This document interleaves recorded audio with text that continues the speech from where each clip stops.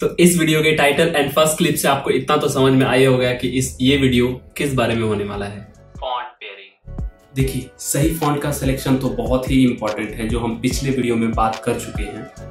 अब सही फॉन्ट से मेरा मतलब है कि अपने कंटेंट एंड टारगेट ऑडियंस के हिसाब से। बट उससे भी ज़्यादा इंपॉर्टेंट है उसे पेयर करना यानी जोड़े बनाना। अब हर क्रिएटिव में एक हेडिंग सब हेडिंग एंड डिस्क्रिप्शन तो होता ही होता है। और आपने हेडिंग के लिए फॉन्ट सेलेक्ट कर लिया है एंड सब हेडिंग के लिए कुछ समझ ही नहीं आ रहा है। डिस्क्रिप्शन की तो बात ही छोड़ दो। तो उस केस में आप कौन सा फॉन्ट यूज़ करेंगे? खैर इसका कोई परफेक्ट आंसर नहीं है। ये टोटली डिपेंड करता है आपके कंटेंट एंड टारगेट ऑडियंस पे।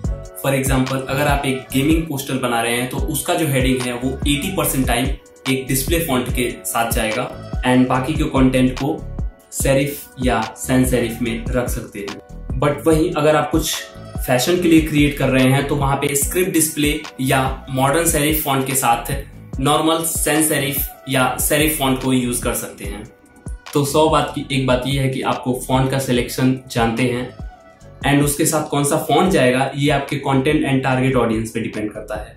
जैसे अगर कोई प्रीमियम ब्रांड है तो उसके लिए सेरिफ का थिन स्टाइल या मॉडर्न सेंस सेरिफ यूज़ कर सकते हैं। अब मॉडर्न फॉन्ट के बारे में किसी नेक्स्ट वीडियो में बात करेंगे। और वहीं अगर कोई सस्ता ब्रांड है तो तो उसके लिए तो आपको ऑलरेडी पता ही है कौन सा फॉन्ट यूज़ करना है। तो सब मिला के ये बात है कि फॉन्ट का यूज़ आप उसी हिसाब से करेंगे जिस हिसाब से आपके टारगेट ऑडियंस एंड कंटेंट है। आई होप यहाँ तक आपको सब क्लियर होगा। लेकिन लेकिन लेकिन, अगर आप अभी एक बिगिनर हैं तो मेरा यही सजेशन रहेगा कि आप एक ही फॉन्ट की सुपर फैमिली के साथ जो है घर बसा लें।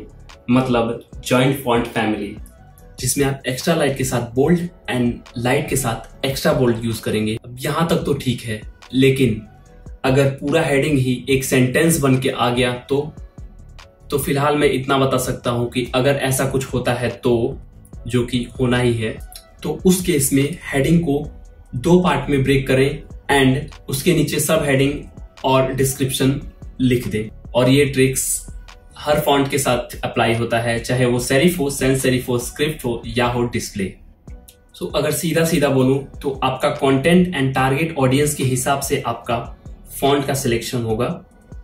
और फॉन्ट पेयरिंग के साथ थोड़ा टाइम स्पेंड करो ताकि वो आपको खुद को समझने का मौका दे। एंड इसके साथ टाइपोग्राफी के कुछ और भी टिप्स एंड ट्रिक्स हैं जो कि आपके डिज़ाइन में आपके क्रिएटिव में चार चाँद लगा सकते हैं। बट वो किसी और वीडियो में। वीडियो पसंद आया तो लाइक करें शेयर करें एंड नेक्स्ट वीडियो में मिलने के लिए अगर न्यू है तो चैनल को सब्सक्राइब कर लें।